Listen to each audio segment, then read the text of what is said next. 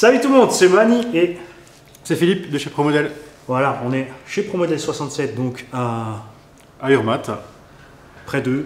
Près, alors dans la vallée de la Bruche, ouais, près de Molsheim, près de Molsheim, euh, entre Molsheim et Ouais. je dirais entre Strasbourg et Saint-Dié. Pour être, Voilà, Strasbourg, il l'a dit quand même. pour parce être- que, pour être Ouais, grand euh, dans, les, dans les échelles, mais vraiment entre Molsheim et Schirmer. mais il faut leur dire Strasbourg. Parce que Strasbourg. le ouais. gars Près- du sud, Molsheim. Euh, C'est ça. Ouais. Oui, c'est si c'est tombé du nid ou quoi. C'est ça, c'est ça. Et avec nous derrière, on a, il se marre là-bas, il fait le kéké. On a Steph RC Custom.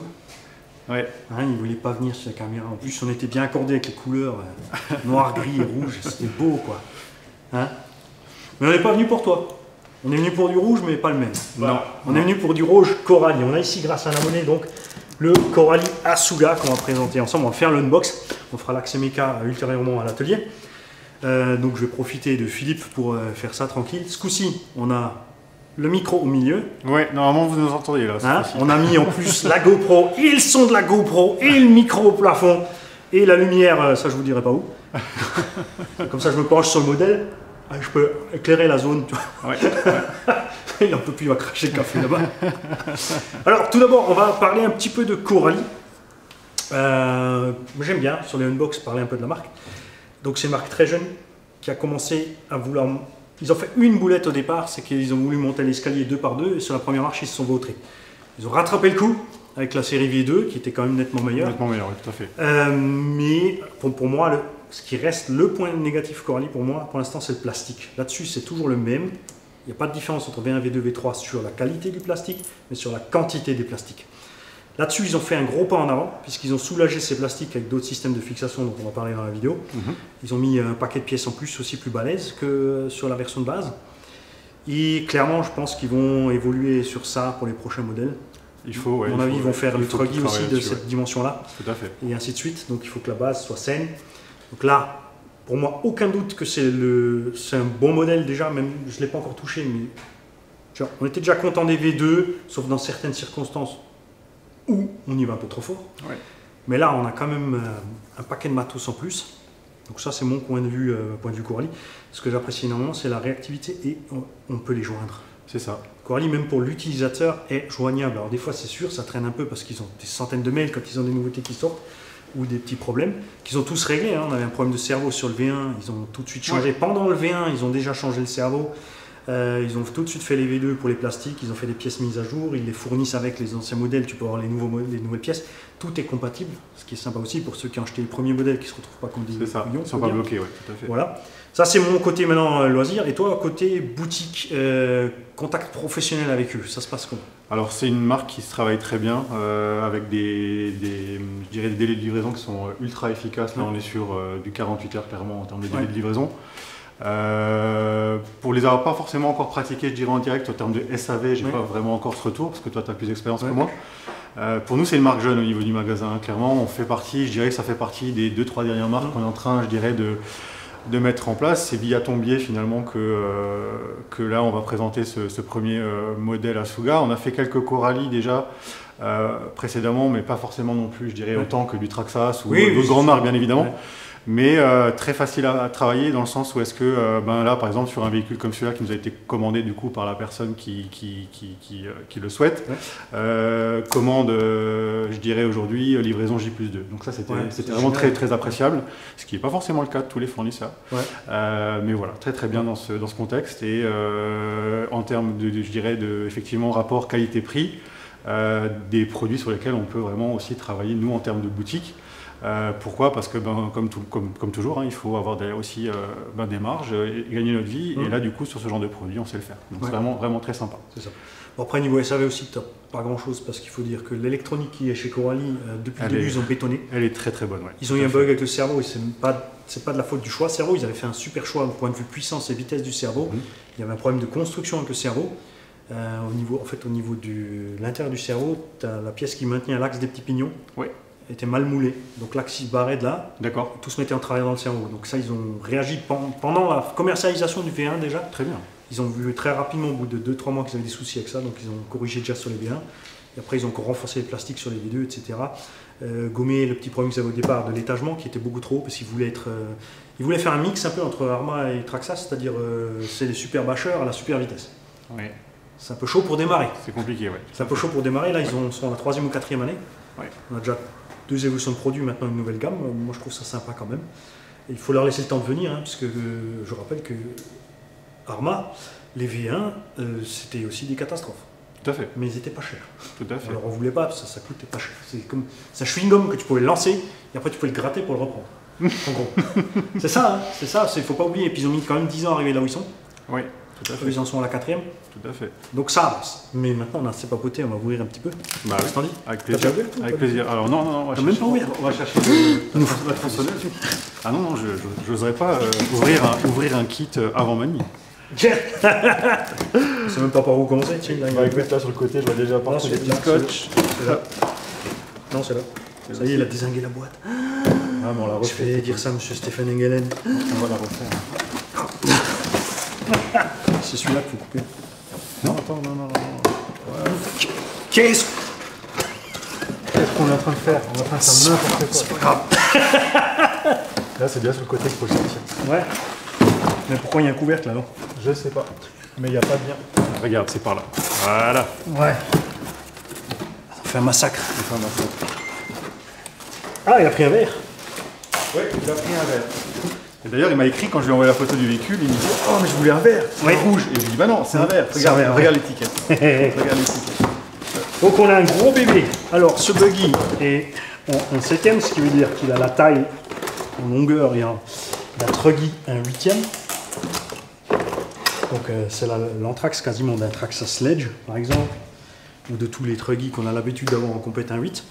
On est moins large par contre qu'un truggy. Tu vois, parce qu'un Ouais. truggy à peu près on est là. Ouais, tout à fait. Hein, on a des bras un peu plus courts. Euh, mais on a quasiment le même poids. Ce qui devrait être jouable en 6S. Maintenant, on va voir, bien sûr. euh, tu prends l'avant, je prends l'arrière. On fait un synchro. Allez. Ouais, ouais. Attends, la vache, ils sont durs. Ils sont assez durs, hein. sont Franchement, ouais, c'est assez Ah oui, là, il n'y a pas poète, poète. Là, c'est. Là, c'est. euh, ouais, franchement. Ils sont relativement durs. Et ce qui explique aussi sur les vidéos qu'on le voit, il est très glissant à conduire. Ok. L'avantage, c'est que tu as une bonne endurance. Je pense qu'il n'y aura pas trop de ballons. Ouais, tout à fait. On a une taille nouveau, alors ça c'est nouveau, c'est toujours le problème quand un constructeur se lance dans une chose comme ça, c'est qu'on a une taille de pneu unique. Puisque c'est plus gros qu'un buggy 1.8, c'est plus petit que des routes truggy 1.8, Là, on est sur un hors standard, entre guillemets. c'est du hors standard, donc il n'y a pas encore beaucoup de choses dans cette gamme-là, peut-être que ça va venir avec le temps. Il y a sûrement des choses adaptables, clairement. Euh, si tu prends ça, si c'est pour mettre des routes truggy standard, euh, prends un truggy. Honnêtement, parce qu'après ça va faire bizarre au niveau du truc et tout. Tout à fait, tout à fait. Le look Ben Ça, c'est à chacun de voir comme d'habitude. T'aimes ou t'aimes pas, Les goûts et les couleurs, hein. c'est ça. Par contre, de préambule, moi, je trouve qu'il a, il a quand même déjà très robuste. hein. Déjà, ouais, ils ont, ils ont fait du mastoc là. Ils ont fait du master. Ah, on voit euh, la triangulation, euh, le support d'aileron, il est en monobloc. Là, Ouais, ils ont pas. euh, regarde le centre, Ouais, au plus tard, ouais. regarde la- le châssis brace. Alors, on va faire un petit truc. On va se prendre la petite caméra qui est là. Et on va faire un petit tour de la bébête. Un tour d'horizon. Comment ça, Horizon B Ah non, c'est Horizon. c'est Coralie Bip Il y a dit un mot interdit Faut couper. Faut couper, faut couper. Ah oui. Tu sais, ce qu'on peut faire aussi avec la petite caméra regarde. Pendant qu'il est occupé là-bas à, faire des, à, Ah, tou- faire à poète, toucher des trucs. Poète, poète. Salut Steph Donc, ce Asuga en vert, euh, faut aimer le mélange du vert et du rouge. Si t'aimes bien, t'aimes bien. Moi, j'aime bien. Suspect? Ah, Souple quand même. Il est plus souple que ce que je pensais. Exact. Sur les vidéos, il avait l'air un peu raide, mais là, ils ont fait un truc assez souple. On va faire un truc. Quand même. Après, on a quelque chose que tu as remarqué, c'est la. Tu vois, si tu presses un peu, il descend complètement. Exact. Tu vois, ils ne deviennent pas plus fermes. Exact. Parce que ça, c'est un truc que j'avais noté. Tu vois, si tu le lances, il traverse. Il amortit, mais il passe. Ouais. Ça, c'est. Bon, il faut avoir avec Ça, la batterie à boire. ouais, ça sera hein. pas mieux que la batterie à boire. Ah non, non. Mais je dirais que les suspensions devraient. Tu vois, se raffermissent pas. Ouais, d'être un peu plus dur. Il hein. traverse en fait. Ouais, ouais. Mais il devrait être souple en haut. Bah, là, il est super souple. Par contre, il vient pas ferme en bas. Alors, je, Exact. je pense que ça vient peut-être de l'angle des suspensions, du triangle par rapport au ressort. Tu vois, C'est juste. on est assez debout. Les amortos sont assez debout. Tout à fait. Tout à fait. Il devrait être plus incliné. Mais il a une super bouille. hein. Je vais te Après, en termes de point d'ancrage, on a pas, on a juste un point d'ancrage supplémentaire On derrière. ça comme il est. Il a une bien meilleure bouille en vrai que sur les photos. hein. Sur les images, t'es un peu moins, pas. Hein? Donc les petits, euh, ça, ça vient de la mode de compétition en fait. C'est ça. Je sais pas si c'est vraiment utile. Je pense pas que c'est son effet. Après, c'est plus- c'est plus du, du- Ouais. de la déco. Donc on a les tourelles bien balèzes. Donc ce que je vous disais, ce qu'ils ont amélioré par rapport au modèle précédent, ce sont euh, la qualité des matériaux utilisés pour euh, la tourelle et l'épaisseur. Et surtout ici au niveau des cales de train, c'est là, grosse évolution. On avait un problème avec les cales de train qui étaient arrachées sur certains chocs. Les cellules complètes fixées uniquement donc avec les quatre vis du dessous là. Donc les gars, ils ont arraché les cellules sur les gros impacts, sur les triangles ou n'importe. Mhm. Alors soit les cales de train qui étaient en alu soit en simple de simple de base se déchiraient ils arrachaient les vis dans le plastique ici. Donc maintenant les cales de train elles sont plus épaisses et elles sont vissées à part sur le châssis. Ok, Tu vois, tu as bien. deux vis de plus là. très très bien, tout à fait, ouais. Les cales de train avant et arrière sont vissées au châssis, plus vissées sur la cellule, D'accord. ce qui fait que ça augmente le, le maintien de la cellule. Tout à fait. Donc on a les mêmes cellules que sur la gamme 1.8, mais qui sont mieux maintenues pour éviter justement l'arrachement. Ouais. Alors bien sûr, ça va causer d'autres casses, hein, c'est toujours pareil, tu renforces un morceau, tu, tu casses ailleurs. Donc ce qui va se passer, c'est plus de stress sur les triangles et du fait, ils ont mis ces bagues ici que tu vois là. Ouais, Tu vois, ils ont mis ces bagues en plus. Ça, c'est sur le plastique du triangle. tout à fait. Tu vois, ça, ça te maintient l'axe ici du triangle ensemble. Le châssis est plus étroit aussi. Donc ça, ça c'est sympa, il est droit, ça suffit, il n'y a pas besoin de- d'avoir des masses de, de, en plus. Mhm. On a toujours les pare-chocs skid plate en un seul morceau. Donc là, on va voir euh, sur les tests, il y a une évolution ou pas. Parce que moi, sur les, ceux que j'ai testés sur Chronos, sur les V2, ils avaient commencé à mettre ça. D'accord. Euh, le plastique était trop dur et quand tu le tapais, en fait, il se fendait. Donc tu te retrouves avec deux bouts du, du truc. Ouais. Donc, je sais pas s'ils ont changé ça ou pas. Et à l'intérieur, on a la même architecture. Hop. On a toujours l'excellent euh, Obi-Wan Max 8, donc ici Toro X, avec toutes ces 11 fonctions de programmation réglables. Le Curon 2050 kV, donc qui est en 42 par 74. Je rappelle que 40 c'est ça et 42 c'est à cause des ailettes, donc il l'appelle 42. Mhm. On a en plus deux séries livrées avec, regarde, les condensateurs sur la, la prise, Ah, bien vu, ouais. tu vois? Il est monté proprement, pas avec un rilzan. Regarde, ils ont mis ça avec la gaine thermo autour. C'est par rapport à Arma qui met le petit rilzan, hein, ils écoutent. Exact, exact. Mais bon, moi j'insiste, je veux une fixation à part ici pour glisser les condos qui se baladent pas avec. Il est chiant, il est chiant. On a le cache sur la transmission ici toujours. Attention, c'est pas fermé entièrement, hein, c'est juste pour éviter les projections dans la transmission. Ouais. On a bien les pignons sens de marche qui vont vers le haut. Oui. Donc même si quelque chose passe, c'est expulsé vers le haut. Exact. Ça, on est bon.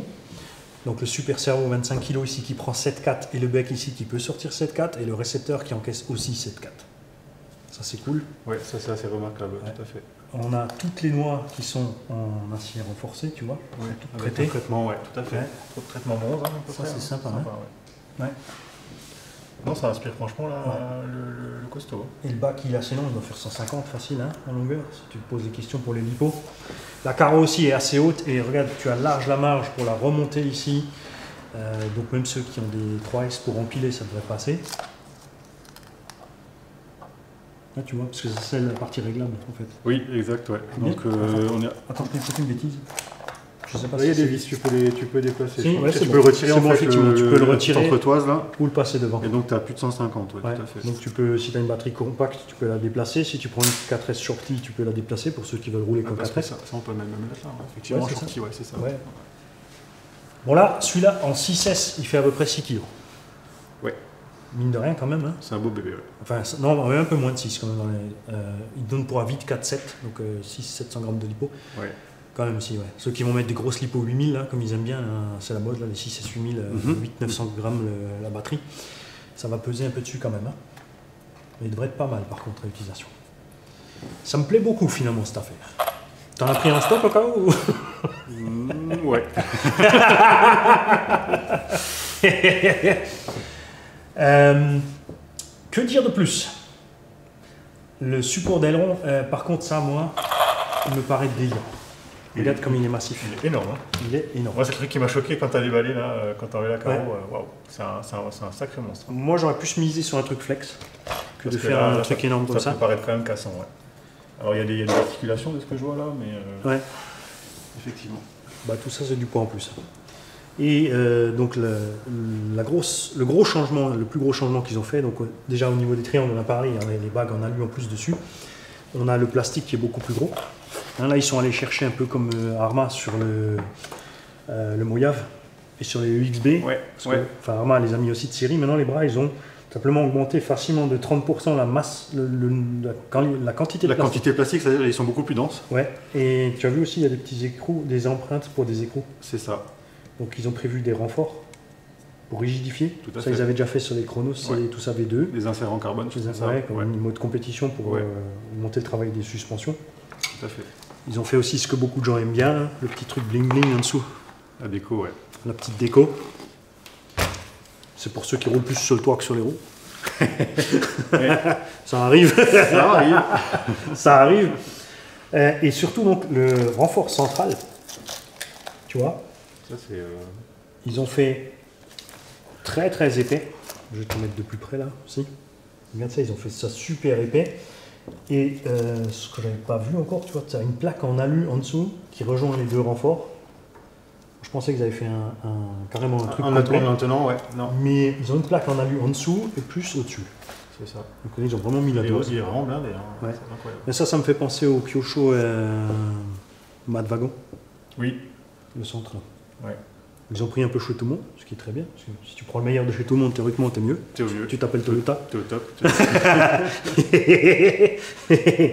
voilà, donc maintenant, il n'y a plus qu'à aller l'essayer. On va mettre. euh, je vais l'emmener chez moi, Mhm. parce que j'ai le droit de l'essayer. Donc merci à Labo euh, pour ça. C'est super. Au niveau, ce qui est très important de savoir aussi au niveau des portes-fusées des fusées, là aussi ils ont mis beaucoup plus de matos dessus qu'avant.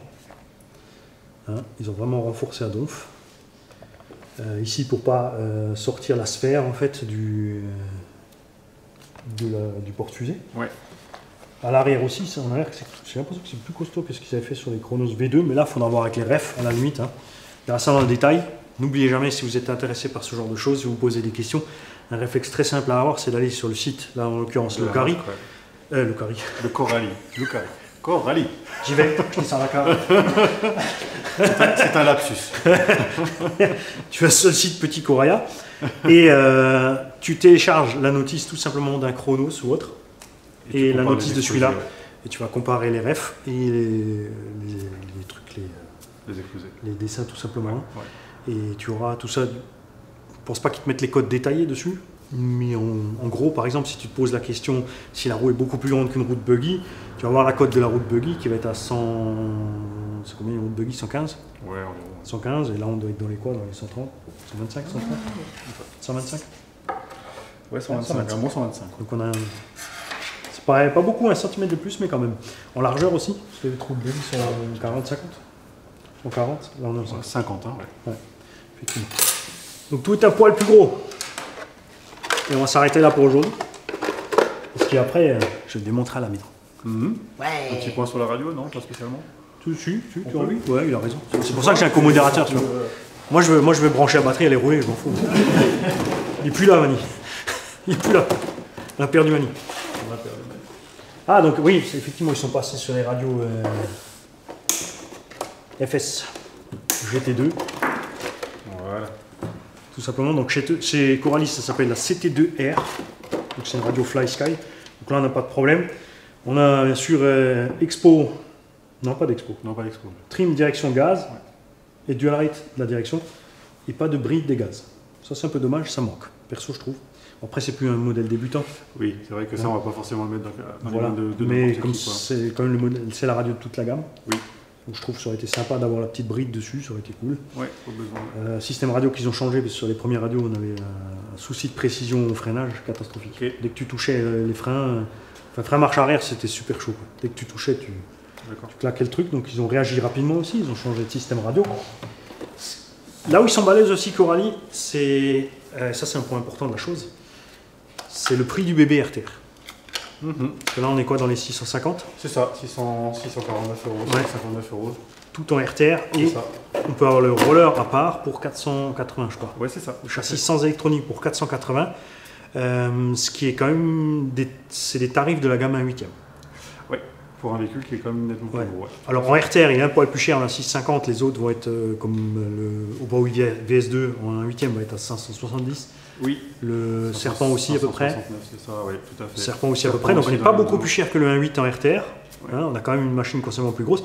On est moins cher, on est moins cher qu'un Truggy 1.8 RTR. Oui. Quand Oui, même, comme- alors là, on a- est plutôt autour des 750-800 Oui, euros. pour on a quand même les dimensions. Donc là, ils ont fait un gros gros boulot. Et à noter aussi que sur l'évolution des versions, tout ce qui a été amélioré n'a pas été facturé en plus derrière. Parce que les prix n'ont pas vraiment grimpé chez eux depuis. Ouais, tout à fait. Ils ont réussi à garder ça dans un cadre assez sympa. Donc voilà. Ça, je tiens à le préciser, c'est important. Donc on a un super SAV, on a des pièces rapides euh, dispo et on a un prix de départ qui reste attractif dans la gamme loisir. Euh, évidemment, surtout par rapport aux concurrents euh, Horizon Hobby et Traxxas, où les prix s'envolent. Ouais. On est quand même loin, hein. on a quand même on a des roues moins grosses qu'un Sledge, mais on est dans, dans le gabarit de châssis d'un Sledge qui est à 850, là on est à 200 euros de moins. Tout à fait. Tu feras pas la même utilisation, c'est sûr. Il faut savoir ce que tu veux. Ouais, En Euh, performance pure, je pense qu'on est quand même sur quelque chose qui. Oui, sur la performance, on doit être sympa. Envoie bien, ouais. Après, à voir donc ce qui va évoluer sur les pneus. Bon, je pense que c'est ce qui. On est dur, hein, on est vraiment dur là. Ils sont assez durs, hein. je pense que c'est ce qui bride un petit peu la machine. À montage dans les virages, casse-moi la gueule, parce qu'elle est quand même. C'est juste. Euh, ils ont gommé le. Tu peux pas régler dans les triangles la position des. Dans les Non, on a tourelles. que des ancrages en haut. Ouais. et un Deux ancrage supplémentaire en haut dans la tourelle. Ouais. Ouais. À chaque fois, mais pas, mais pas dans le triangle. Ah, les portes fusées aussi, tu peux les décaler d'un cran aussi. Là en dessous, regarde, tu as deux trous dans porte fusée, ce qui veut dire que tu peux monter ta garde sur l'arrière. Ouais. Impec. Je vais finir par en acheter un, quoi. C'est ça ce que tu es en train de me dire? Bah, tu sais comment faire. hein. T'as pris quoi en stock, un rouge ou un bleu? Pour, toi, pour toi, un orange. Orange, Il faut pas. pas, non, je vais prendre le petit Traxxas orange là. ouais, non, c'est cool, hein, franchement. Qu'est-ce que t'en penses? Tu veux venir poète poêter T'as vu, il se fait pas avoir. hein. Non, non, il, Je me suis il dit, il va oublier la caméra là-bas devant, puisque je suis en train de jouer avec la GoPro là. Il va passer devant, il va faire poète poète et tout. Non, non, c'est- ça a l'air d'être vraiment sympa comme machine. J'ai l'impression que c'est solide. Ouais, ça donne. hein. Oui. Ouais, ça, ça inspire le costaud. Ouais, euh, en plus, on protège les amortisseurs aussi là-haut. Ouais. tout, Ça, c'est vraiment bien. Quoi. Il y a, il y a quand même de belles choses dessus. L'électronique, euh, Coralie, elle est, elle est Ouais. vraiment bonne. euh, Enfin, voilà, quoi. On devrait être pas mal. Pas, pas grand-chose à dire. La suite, donc, euh, dans l'atelier, on va désinguer la bébête. Euh, niveau 18 de diff, très détendu. Ouais, là, c'est c'est- c'est c'est très très light, ouais, effectivement. Ok. Au centre aussi. Bon. Donc, du coup, maintenant, je te. Ouais, c'est clair que les vidéos de run que j'ai vues s'expliquent à cause de ça.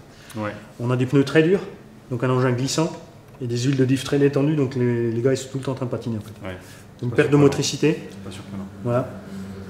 Et euh, pour la suspension, comme dit là, je reste sur ma première impression, c'est qu'on est bien souple, mais par contre, il est souple jusqu'en bas, tu vois, il traverse. Oui, Donc il va aller taper relativement vite le sol. je le pense, sol, par ouais. contre. ouais. Mais après, c'est un buggy aussi, hein. c'est pas non plus. euh, Pas censé faire du bâche non plus à 100. Bah si, c'est ce qu'ils proposent. Ok, ouais. Ah, si, Ça- si, ça si, si. Ah, ils veulent cette étiquette, ils veulent- taper fort, ouais, Ils ouais. veulent euh, fumer Traxxas et Horizon Hobby en même temps. Ok. Et il a visé euh, Là, il, là, il fait, ouais, là ils, font, ils font fort. plus haut, tu retombes parce que t'as. Il n'y a plus de gravité. C'est- T'as passé le soleil, tu descends. À tester. On va voir ça. On va te faire confiance sur ça. Ouais. Pour le test. Non, mais là, le test va être en douceur, puisque même euh, ça aussi, je voulais préciser. Donc, le conducteur de la machine euh, veut rouler qu'en 4S. Ok, ok, y a un d'accord. Evo 2 aussi qui roule en 4S. Ok. Donc, lui, il est content et je trouve que c'est une bonne mesure. Oui, c'est juste. C'est sûr que ta machine en 4S euh, extrêmement durable. Elle souffrira pas. Pas d'usure, pas de surchauffe des diffs à cause, parce que tu moulines, pas de pneus qui pètent, Tout à fait. pas de ballon, pas de tentative de saut délirant parce que tu sais que tu n'as pas la- trop de puissance pour le Tout à rattraper. fait. Tout à fait. Tu vas pas. C'est peut-être pas une mauvaise chose Ouais. de se calmer un petit peu. 5 minutes. hein? Ça, c'est toujours ce qui se passe avec moi. J'essaie de, de me dire, De, c'est de bon. rester, de rester ça Ouais, au début. Cool. Et après, comme je t'ai dit tout à l'heure, j'ai le petit V8 dans la tête là qui d'un coup fait. Et, tu vois, Et là, et là c'est parti, il décroche, man. ouais. Donc, quand je suis sur la piste avec la VT2, moi j'ai le bruit du Daytona 500. là. Il fait- non, je vais faire doucement un peu, abonné. Je vais faire doucement. Je vais essayer. Ça. Ouais. Mais en fait, on va faire simple. Si je le casse, euh, t'en auras un neuf. Je t'en commanderai un neuf pour lui et puis. euh, On fait ça. Pas de. Salut les On est là pour ça. À bientôt. Salut. Ciao, Bon ciao. dimanche. Bon dimanche. Oui, c'est un dimanche, quand même. Là, ça peut encore couper, tu le sais. Hein. Là, je peux couper au montage plus tard et sans te prévenir et laisser tout plein de conneries qu'on va raconter après. Tu Il fais fait des sigles à bêtisier mode derrière.